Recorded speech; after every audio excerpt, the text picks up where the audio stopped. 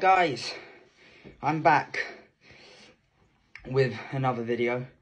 Um why i've i've been away it's because i just done my mocks. I'm sorry about the delay in video but here's one thing right?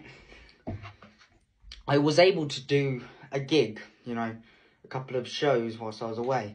And one of my places it had this so you you were right so you were so you were standing on stage. Let me just move my chair out of the way. So I was standing on stage. Hey, what a funny joke!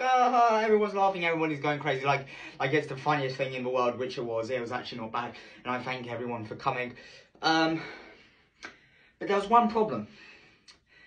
There was a behind me was a door to the men's bathroom and they didn't have those, you know, the towel things where you could just dry yourself off, you know, those sheets of towels, like paper towel things.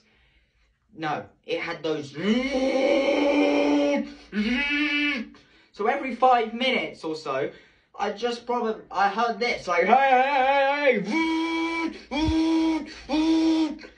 It was absolutely crazy, right? I think someone was in there just waiting for the the punchline, and it went. And not just that, there was also the women's toilet on the other side as well. So there was a, they were going on each other. They were like. They were like communicating.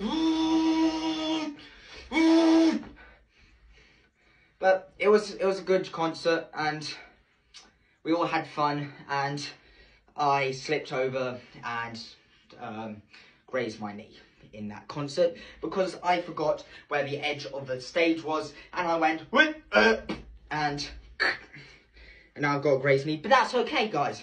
So thanks for watching today and follow me if you like comedy and stand-up comedy and I'll see you later. Thank you. Goodbye